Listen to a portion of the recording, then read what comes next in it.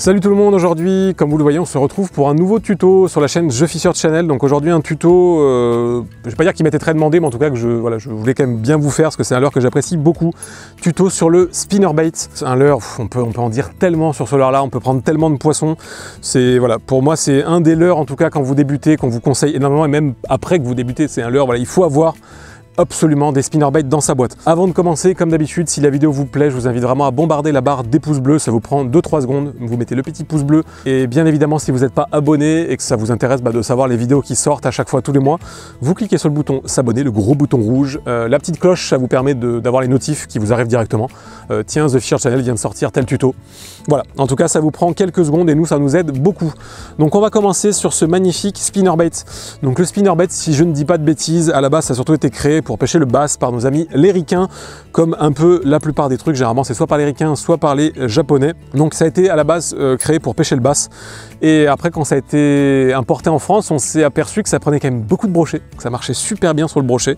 Et donc du coup c'est devenu à l'heure indispensable sur notre territoire, euh, et même principalement dans le monde, je pense que voilà, à peu près partout on pêche au spinner. Au niveau euh, de la forme d'un spinnerbait, c'est très simple, généralement c'est une armature comme ça, tout simplement en forme de triangle. Vous allez la plupart du temps avoir des armatures dures, comme vous avez là, qui vont quand même se déformer un petit peu.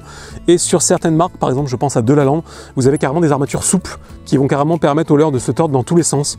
Euh, ça permet des fois de passer un petit peu mieux dans les obstacles, mais sinon la plupart du temps, ça va être cette armature comme ça, avec sur le bas un plomb qui va avoir une, euh, forme différente suivant ce que la marque euh, a voulu faire avec son leurre. Bon, voilà, il y a toujours un argument marketing. Derrière, vous avez l'hameçon qui est directement monté et vous avez toujours une jupe, une jupe avec des, espèces de petits fils en silicone euh, plus ou moins fournies. C'est ça la différence que vous allez avoir. Vous allez avoir des jupes longues, des jupes courtes, des jupes très fournies.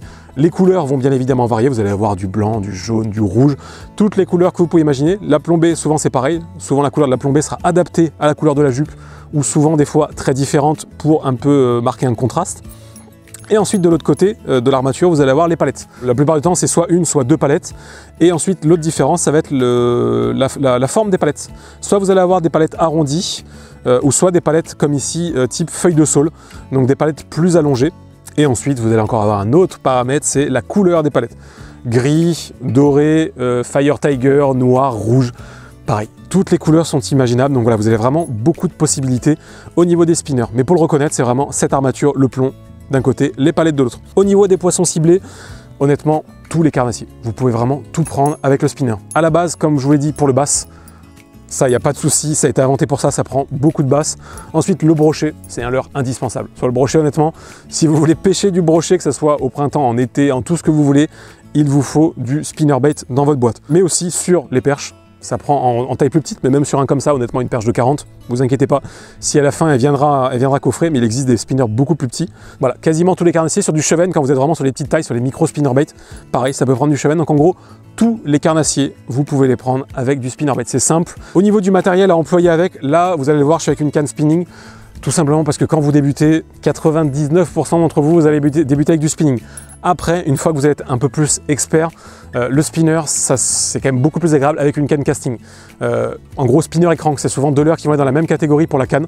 Vous avez vraiment des cannes qui sont faites pour, qui vont absorber en fait, parce que c'est un leurre qui vibre, qui vont absorber les vibrations, qui vont permettre de pêcher plus efficacement, euh, que, ce, soit plus agréable, parce que là en fait ça tire. Si vous pêchez avec ça 2-3 heures d'affilée sur une spinning, ça se fait, hein, mais c'est pas super agréable. Donc quand vous évoluerez, rabattez-vous sur du matériel casting, vous verrez, ça sera beaucoup plus sympa pour pêcher avec ce type de leurre là. Au niveau euh, des zones de pêche, j'ai envie de vous dire quasiment un peu partout.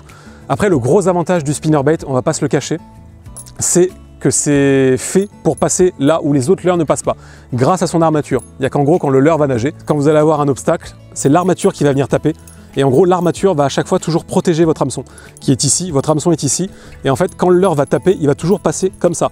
Alors après, ça arrive que ça s'accroche. Hein. C'est pas un leurre magique non plus. Mais si jamais vous faites ça bien, vous pouvez passer dans des bois morts, dans des herbiers. Et en fait, c'est toujours le bas de l'armature qui va venir taper contre votre obstacle et qui permettra au leurre de ne pas s'accrocher. Au niveau des endroits que je vous recommande vraiment, donc ça va être les zones peu profondes, les herbiers. C'est, je pense, le meilleur endroit pour pêcher au spinnerbait.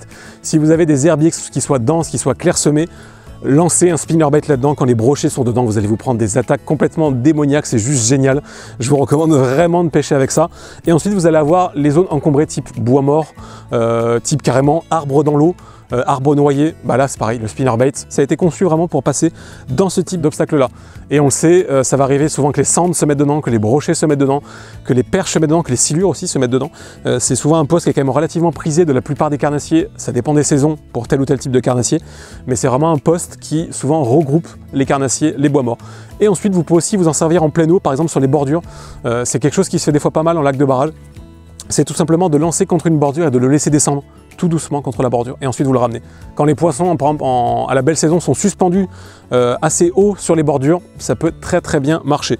Au niveau de l'animation, bah, vous allez voir, c'est pas super compliqué. Hein. Déjà, je vais vous montrer comment ça nage. Euh, celui-là, en plus, là, on a vraiment un modèle qui nage super bien. Regardez-moi ça. Donc là, en plus, vous avez deux palettes différentes. Vous avez euh, une palette dorée et une palette argentée devant. Et vous le voyez, bah, ça nage en fait, peu importe à la vitesse que je vais, le poids reste toujours en dessous et les palettes restent toujours au-dessus. Regardez-moi ça. Hop, ça nage super bien. Donc en gros, ça émet des flashs lumineux. Là, par exemple, avec le soleil, bah, du coup, ça fait des flashs lumineux. Et ensuite, des vibrations, parce que c'est vraiment quelque chose qui vibre. Les palettes vibrent un peu comme des cuillères, hein. c'est le même principe. Hein. Et donc, du coup, ça attire souvent les carnassiers de loin. Et donc, l'animation, bah, l'animation de base, elle est toute bête. Hein. C'est du cranking, comme, comme si vous pêchez au crank. C'est le même principe, c'est un peu le même type de leurre. C'est pour ça que souvent, on emploie ça avec le, même type de canne. Voilà, cranking. Et je, vous le voyez, je pense que vous le voyez, ça tire quand même pas mal dans la canne. Donc, c'est vrai que si jamais vous pêchez avec ça 3-4 heures dans la journée, bon, ça va peut-être vite vous saouler. Mais bon, quand vous débutez, vous êtes avec une canne spinning. Moi, je l'ai fait les 2-3 premières années de pêche, ça m'a jamais dérangé de pêcher au spinner comme ça. Lancer ramener en cranking, tout bête, là on le voit arriver. Tout simplement.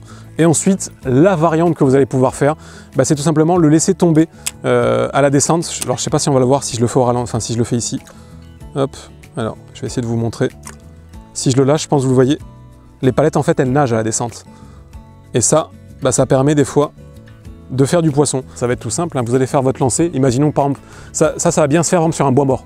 Imaginons que vous avez carrément un arbre noyé devant vous, vous vous l'allez dedans, vous allez lancer votre spinner au milieu du bois noyé, vous allez le laisser couler dedans. Donc là, la descente, généralement, ça va éveiller un peu euh, l'attention des carnassiers. Et ensuite, quand vous allez repartir, généralement, vous allez prendre une grosse boîte. Donc là, on va lancer, et on va imaginer qu'on est dans le bois. là, on va le laisser couler. On garde bien son fil légèrement tendu, pareil pour sentir si on prend une boîte. Ou par exemple, a un bas, si on se fait décaler le fil, ça arrive souvent. Et là ensuite, hop, on le fait sortir. On peut le faire sortir, et voilà. Et on mouline. Tout bête. Mais sinon, voilà, 95% de son utilisation, c'est ça, c'est du cranking. Mais du cranking dans un endroit spécifique. C'est un leurre plus qu'indispensable le spinnerbait. Euh, vraiment, vraiment, vraiment, je vous le répète, prenez des spinnerbait dans vos boîtes. On en a déjà mis pas mal dans les, dans les Box. Euh, je vous invite vraiment à pêcher avec. L'autre petite particularité que je ne vous ai pas dit, c'est tout simplement qu'on peut rajouter un leurre souffle euh, directement sur l'hameçon du spinner, tout simplement pour ajouter du volume. pour ajouter une nage différente, donc souvent on va mettre un shad, un finesse, une croc, donc vous pouvez faire différents essais, mettre un shad, mettre un, finesse et voir comment ça réagit. Qu'est-ce que ça rajoute Des fois, ça va aussi permettre au spinner de descendre moins vite, parce que du coup, la nage du leurre va le freiner. Donc voilà, c'est le petit plus. Vous pouvez rajouter un, leurre souple directement sur le spinnerbait. Je pense en avoir fini avec ce sujet, mais voilà, je pourrais vous en parler pendant beaucoup de temps, parce qu'il y a vraiment beaucoup de choses à dire sur ce là C'est un leurre qui est, qui est, super, qui est vraiment très polyvalent, qui est super, qui coûte pas si cher que ça pour les modèles les moins chers. Dans les 10 euros, vous allez souvent réussir à trouver des bons spinners. Après, ça monte à 15, 20, 25 euros, hein, comme, euh, comme toujours. Hein. Il y a toujours du haut de gamme qui vont ajouter des petits trucs en plus. Mais dans les 10 euros, vous allez pouvoir avoir vraiment des bons spinners qui vous permettront, je l'espère, de faire de nombreux poissons.